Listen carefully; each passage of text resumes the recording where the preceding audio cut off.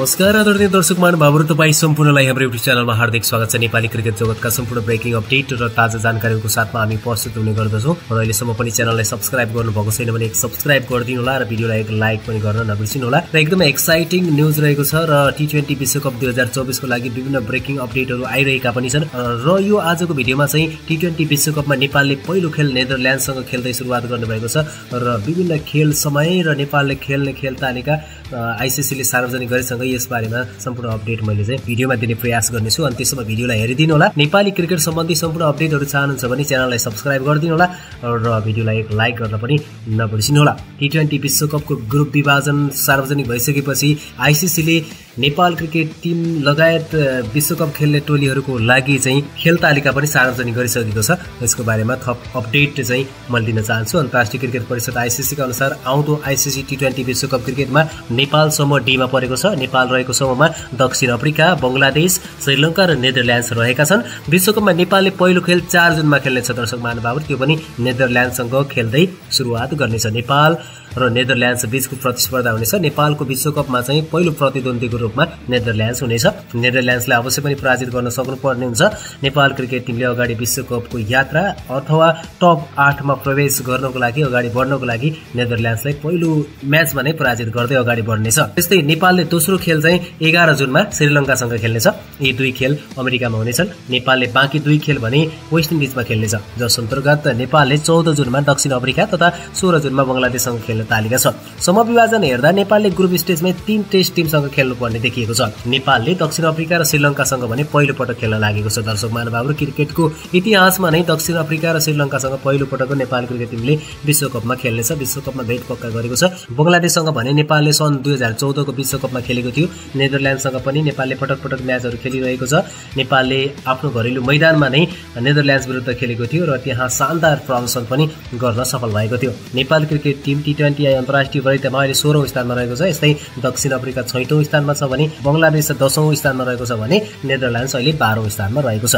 तालिका अनुसार समूह एमा Bharat Pakistan Ireland Canada America रहेका छन् भने समूह ए को खेल अमेरिकामा हुनेछन्। त्यस्तै समूह बीमा इङ्ल्यान्ड अस्ट्रेलिया नामेबिया स्कटल्यान्ड र ओमान परेका छन्। त्यस्तै समूह सीमा न्युजिल्यान्ड घरेलु टोली वेस्ट इन्डिज अफगानिस्तान र युगन्डा र पपुवा न्युगिनी पनि रहेका छन्। आउँदो संस्करणको टी ट्वेन्टी विश्वकप जुन एकदेखि तिससम्म वेस्ट इन्डिज र अमेरिकामा आयोजना हुन लागिरहेको छ। टी ट्वेन्टी विश्वकपमा पहिलोपटक बिस टोलीले प्रतिस्पर्धा गर्न लागेको जानकारी पनि मैले तपाईँलाई गराउन चाहन्छु।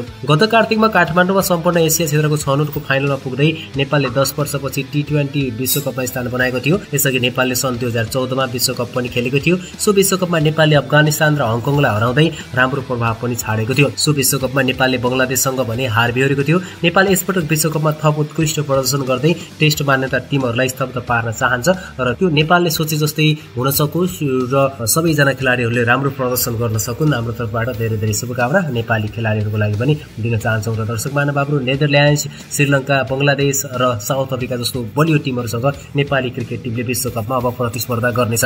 अब नेपाल क्रिकेट सङ्ख्यानले यो आइसिसीले सार्वजनिक गरिसकेसँगै ग्रुप विभाजन गरिसकेपछि र त्यस्तै गरी एउटा सेड्युल पनि सार्वजनिक गरिसकेको छ। खेल तालिका जुन नेपाली क्रिकेट टिमले खेल्ने खेल तालिका रहेको छ। अब त्यसअनुसार काम गर्छ कि गर्दैन भन्ने कुरा हो। त्यसअनुसार तयारी गर्छ कि गर्दैन त अब नेपाल क्रिकेट टिमले भन्ने कुरा पनि रहनेछ। अब बङ्गलादेश पनि श्रीलङ्का पनि नेपालसँग खेल्नका लागि इच्छुक हुन सक्नेछन्।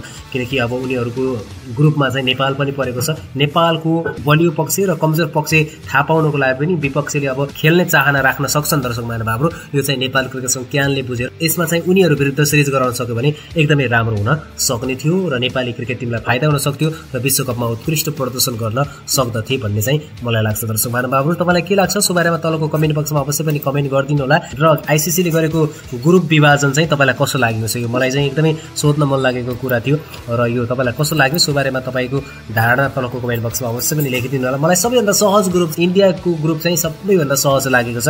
त्यहाँ अलिकति बलियो भनेको अलिक टप टिम भनेको पाकिस्तान रहेको छ। बाँकी सबै उस्तै टिम रहेका छन्। इभन आयरल्यान्ड पनि ठिकै हो। क्यानाडा र युएसए रहेको छ। आयरल्यान्ड क्यानाडा युएसए र पाकिस्तान र इन्डिया भनेको अलिकति बलियो टोली रहेका छन्। यी दुई टिमको चाहिँ एकदम कन्फर्म नै छ सुपर आठमा जानको लागि। अरू ग्रुपहरूमा चाहिँ टप टिमहरू नै रहेका छन्। नेपालको ग्रुपमा South Africa Sri Lanka Bangladesh Netherlands Nepal रहेको छ।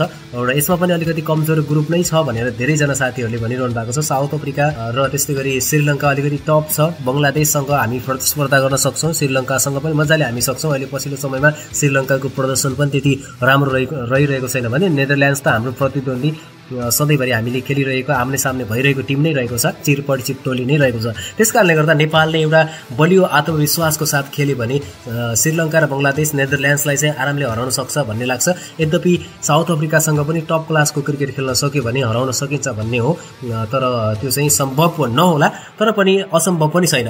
यो चाहिँ मैले भन्न चाहन्छु। र best of luck team Nepal र क्यानले अब छिटै नै तयारी गरोस् यसको लागि र क्यानको अब आँखा खुलोस्। क्यान चाहिँ निन्द्राबाट भ्युजियोस् हामी चाहिँ यही भन्न चाहन्छौँ। चाहन्छौँ र दर्शक महानुभावहरू तपाईँलाई यो ग्रुप विभाजन कस्तो लाग्यो?